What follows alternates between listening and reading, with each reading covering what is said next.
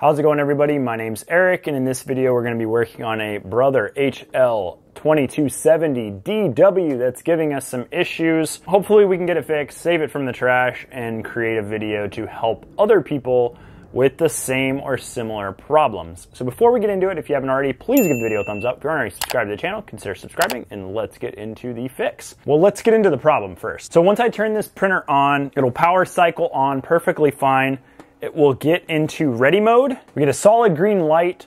And whenever I try to send a print job to this printer, for instance, if I just want to print out a test print setting page, I hit this go button three times.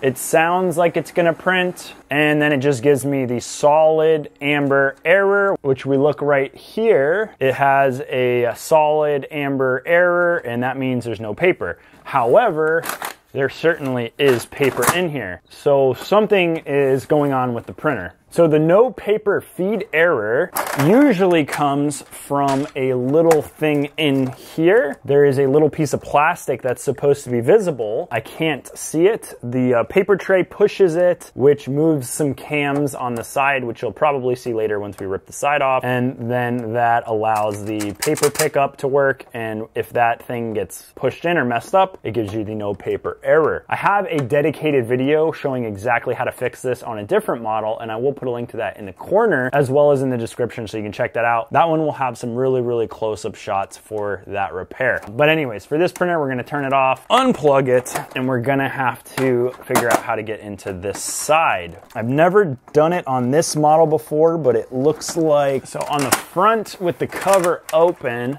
there is a little nub for this left piece of plastic. I'm just going to pry up on it. There we go. And there was a, little nub here, a little nub up here. Now we got to get this back side off. There's like a little lip here that I just kind of jiggled and it came off. And then it looks like a little hook here, a little lip here. I just jiggled it and it came off. So that gives us access to this side. Let me zoom in where the problem is lying. It's this piece right here.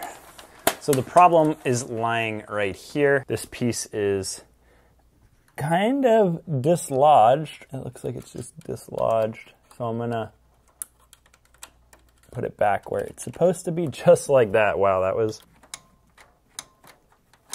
that was really, really easy. All I did was push a little piece of the plastic in where it was pressed and then now, so now when the tray goes in, it'll push and then this gear will raise and you'll see that it engages with that gear and then it allows the paper pickup to work. And you can see it from the front here. It's pushing it in like that. And then from the side here, there's like a little clip that was supposed to be pushed in. And that's what was broken on that. We plugged the printer back in, turned it on. We're gonna load the paper tray. We still have this side cover off. We're gonna be very careful about that. As soon as we get that ready light solid, we're gonna hit go three times. Or you could send a print job to the printer.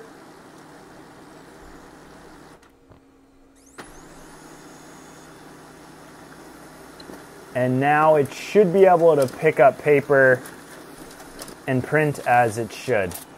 There is our settings that we printed, and it looks like that was indeed the problem with this printer, and it is good to go. I'm gonna turn it off, unplug the back, and now we're going to put this side panel back on. We're gonna do it in reverse of how we took it off. So I'm gonna take the paper tray out, line up the bottom zigzag down here, and then press the top case over that little circle. And then we're going to have to open the front cover let that drop in, and then we're going to press the top portion over that circle, and then this bottom part, it should lock in. Pretty simple fix. It will be the same or very, very similar on multiple models because there's a lot of overlapping design in a lot of these Brother printers, especially the HL series. So thank you guys so much for watching. If you haven't already, please give the video a thumbs up. If you aren't already subscribed to the channel, consider subscribing, and I will talk to you in the next video. Bye.